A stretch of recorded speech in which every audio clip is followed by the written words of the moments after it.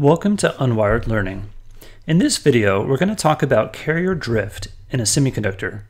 The goals for this video are to describe the physical phenomenon of carrier drift, derive an equation for induced drift current due to an electric field, and thirdly, to relate that equation of drift current to Ohm's law. Over here on the left, we have a picture of a piece of semiconductor, and what we've done is we've attached a voltage to it. And when we attach a voltage, that generates an electric field in this device. And what we find is that because there's a positive potential on one side and a negative potential on the other, the electrons will be attracted to that positive side and will drift towards the positive side. And holes, oppositely, they will go and drift towards the negative side. In order to understand this fully, there's a few things we'll define about this particular piece of semiconductor. First, we'll define the area as A and the length of this device as L. The first step in understanding drift current is to first look at the carrier movement without an electric field. In this case, we're going to look at a charge carrier. This charge carrier in a semiconductor could be an electron or it could be a hole. What we find is as that carrier gets energy, this could be thermal energy, then that carrier will move around in this device and it will randomly move around until it scatters with another carrier or an atom or some other force. And that scattering causes that carrier to kind of bounce around randomly. But there is no net movement. If we look at the area around that carrier, we won't see any net flow of carriers in one direction or the other. Instead, what we'll find is that the carriers are just bouncing around randomly, but relatively staying pretty much exactly where you would expect them to be. However, as soon as we introduce an electric field, then the carriers will start to move, and in this case, we're going to illustrate this idea with a hole. Yes, there will still be scattering and bouncing around, but on net, what we're going to find is that carrier is drifting or moving in a net direction. So there's some net flow for this carrier. The same thing could be said for an electron in this system. However, the electron will act oppositely to the electric field. So instead of moving from left to right, as the hole did with the electric field pointing from left to right, the electron will instead be moving in the opposite direction of the electric field. So if this red pointer is the electron, then what we're going to find is that electron is going to bounce around and scatter against other atoms and other electrons, but it will have a net flow in the direction to the left. Now let's move on to the math. We know from physics that drift current density, which is given as J, and we'll define J sub drf as drift current so we can not confuse that with other types of current. That value, J drift, is equal to rho times the drift velocity, where rho is the volume charge density of the material. It's useful for us to, to break down this equation in terms of units so we can understand what's going on. First, let's start with rho. Well, we have rho times drift velocity. And in terms of units, that is given as some charge per volume. So that would be coulombs per cubic centimeter. And drift velocity, well, just like any other velocity, that's some unit distance divided by time. So in this case, we'll have our unit be centimeters per second. Now this is useful to us because now what we recognize is we have a charge and we have some volume and we have our velocity it might be useful to understand how we're going to derive the full equation for drift velocity by breaking out those units. First, let's break out coulombs. So over here, we're going to have something with units of coulombs. Then we'll have something with units of per cubic centimeter. Then we'll have our drift velocity in units of centimeters per second. So let's start with these first two items? Well, coulombs is just the unit of charge. So for us, being that our carriers are either electrons or holes, we will write that as E. to represent the unit of charge for an electron or a hole. And in semiconductor physics, we know that the density of carriers is given in units of 1 over centimeters cubed. So it must be the case that we have some density of carriers in this case. And since we've been talking about holes and we've been using holes, let's go ahead and write down that our density of carriers is P to represent the number of holes in this system. So we have now that the drift current is equal to the charge, E, times the number of holes per volume, P, times the drift velocity. Now to understand how to break down drift velocity, we first need to think about Newton's law. Here we know that a force equals mass times acceleration. Well, in this case, what do we have that is causing the acceleration? Well, what we have is an electric field, and we have a charge carrier that has some either attraction or repelling from that electric field force. So we can say that F equals ma equals the electric charge times the electric field.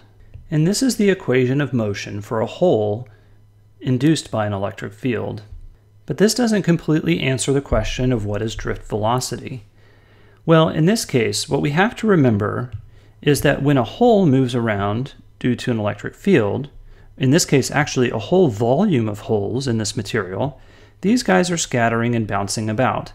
And what we do is we take the relative motion of these guys as they're moving in the presence of this electric field, and we consider an average drift velocity.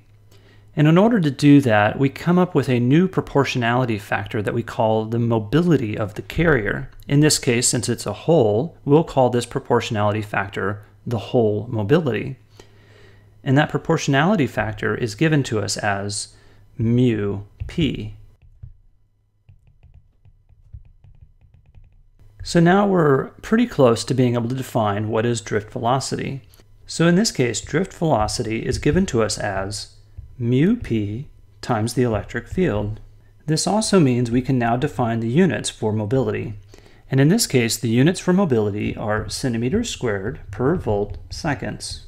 Combining these ideas into the drift current equation, combining these i's into the drift current density equation, J drift, what we find is that J drift is equal to the charge, E, times the number of carriers, P, per unit volume, times the mobility of those carriers, times the electric field, now, this in particular gives us the drift current density, but not of all the carriers in the system, only the holes. We can also derive the drift current density equation for the electron. In this case, since an electron has a negative charge, we'll write negative E times the density of carriers N. And since the movement or the velocity of the carriers uh, electrons are in the opposite direction of the electric field, we can write minus mu sub n times the electric field. Combining these, we see that the two negatives cancel each other out and we get E n mu sub n times E. In these two equations, the drift current for the holes and the drift current for the electrons can be combined into a final equation for the total drift current density. And that total drift current density would be given as E times the quantity mu n n plus mu p p times the electric field acting upon those carriers. And this is our final equation for drift current density. Now let's take a look at how the drift current density equation that we derived earlier relates to Ohm's law.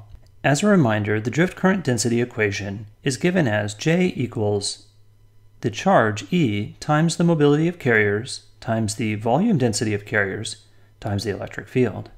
The first way that we can look at this and relate it to Ohm's law is by looking at unit analysis.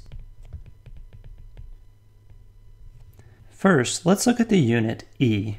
E is simply coulombs. Next, let's look at the unit of mobility. Mobility is given as centimeters squared per volt seconds. Now, let's look at the charge density of carriers.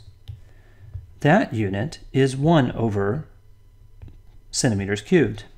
And finally, let's look at the value of the electric field. The electric field is given as volts per unit distance. Let's take a particularly close look at the first three units.